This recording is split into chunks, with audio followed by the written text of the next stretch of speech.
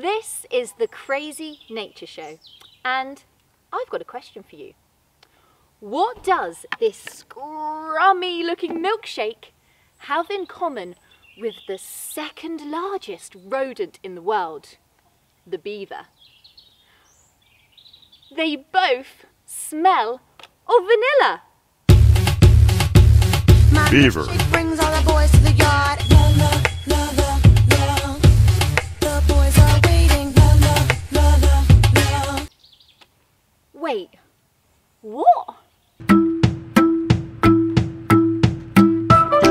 Now, if you're ever lucky enough to catch a glimpse of these orange-toothed furballs, I'm afraid you probably won't start thinking you're in an ice cream parlour.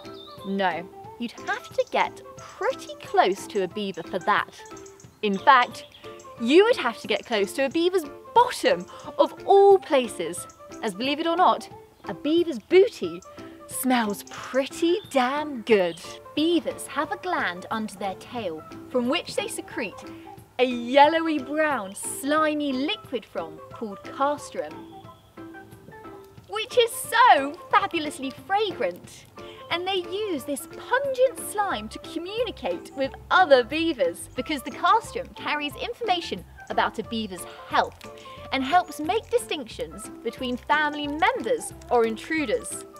So by marking their territory with this stuff, they can tell any rival beavers to back off. These river babies also use this vanilla goo to waterproof their fur. So they're essentially wearing a coat covered in their own butt juice. now it's not just beavers who are a fan of their own bottoms. Over the years, humans have been quite partial to a bit of beaver butt juice too. Mmm, nice. Yeah, it was once a key ingredient in some of our favourite foods, like custard. Mmm. Some people thought it had magical healing properties, and so it was used in early medicines. Ugh. Others loved the smell of it so much they made perfume with it. Ooh la la! But because of these scrumptious scent glands and the demand for beaver fur and beaver meat, about 400 years ago in Britain, beavers were hunted to extinction. This means they were completely wiped out and there were no more beavers left.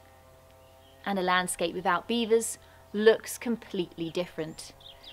This is because beavers are what we call a keystone species. A keystone species is an animal which has a massive impact on its environment and all of the other animals who share it.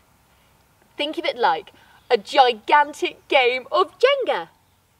You take away the most important pieces, the keystone species, then the environment collapses, or at least looks dramatically different. And this is exactly what happens with the beavers. They shape their watery worlds for the better.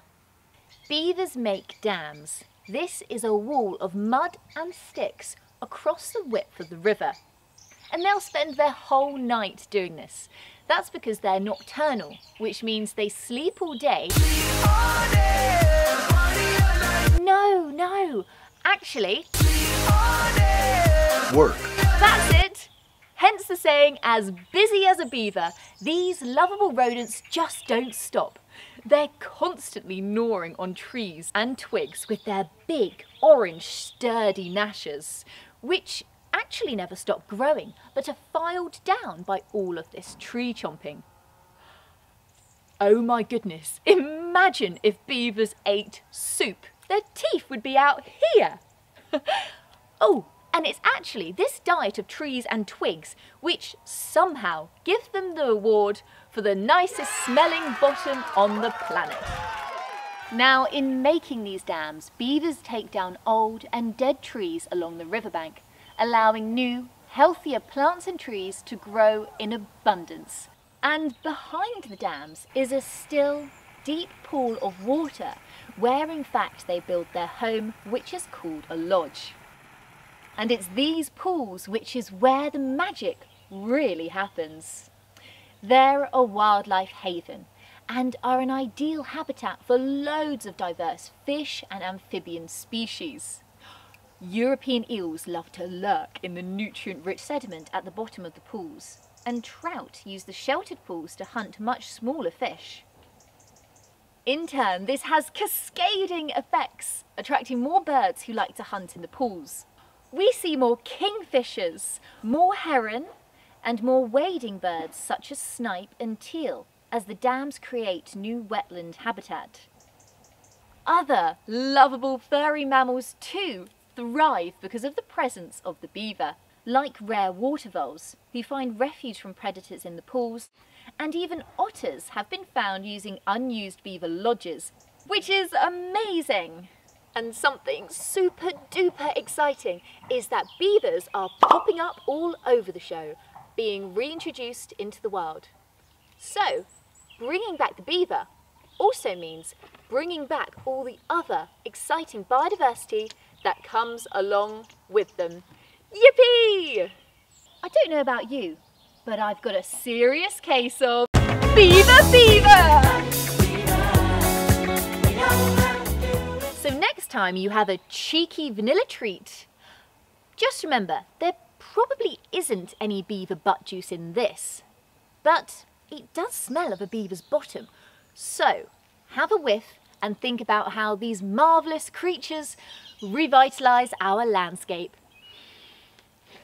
Ah!